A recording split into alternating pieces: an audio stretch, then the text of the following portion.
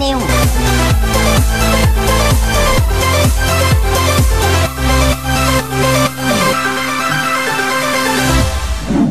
รัฐมนตรีว่าการกระทรวงศึกษาธิการหนุนสพทเร่งผลักดันการพิกชมกระบวนการเรียนรู้แบบ Active Learning ด้วยกระบวนการคิดขั้นสูง เชิงระบบ G-PAD 5 Step ให้เร่งขยายผลทั่วประเทศ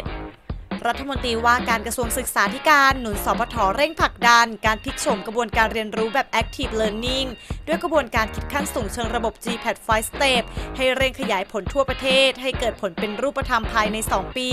เพื่อให้นักเรียนเป็นนวัตกร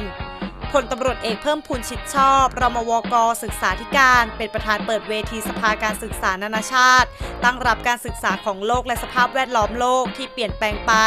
ขณะเดียวกันพร้อมเดินหน้าหลักสูตร Active Learning ขยายผลทั่วประเทศ ภายใน 2 ปีเพื่อให้นักเรียนเป็นนวัตกรค่ะ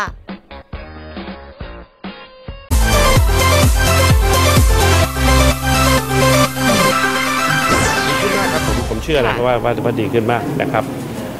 ทุกๆทุกๆส่วนนะครับไม่ว่าในส่วนของของกระทรวงศึกษาเองนะครับผู้บริหารบุคลากรต่างๆ ให้ความร่วมมืออย่างดีช่วยกันในการมีความตื่นตัวในการดำเนินการนะครับ แล้วก็หน่วยงานการศึกษาอื่นที่ไม่อยู่ในสังกัดกระทรวงศึกษาธิการนะครับค่ะก็มีการมาช่วยกันในการขับเคลื่อนภายใต้แนวทางเดียวกันกับกระทรวงศึกษาธิการนะครับ ไม่ว่าจะเป็นท้องถิ่นก็ตาม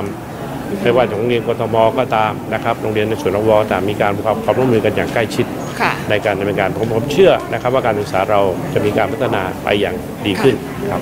อ๋อก็มันเป็นสิ่งที่มีอยู่แล้วนะครับ เราก็มาทำกันให้มันจริงจังนะครับ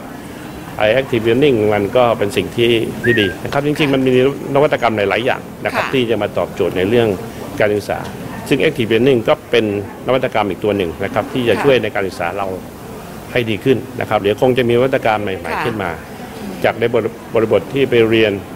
ที่ทำงานมาเนี่ยนะครับก็มีหลาย ๆ เรื่องอย่างเช่น จิตศึกษาค่ะนะครับ มันก็มาช่วยได้นะงั้ครับนแสหดลางยๆอย่าว่างท่านมองว่าน่าจะมีเป็นส่วนดีที่จะช่วยผลักดันเด็กให้กลายเป็นนวัตกรตรงนี้ใช่ไหมคะครับ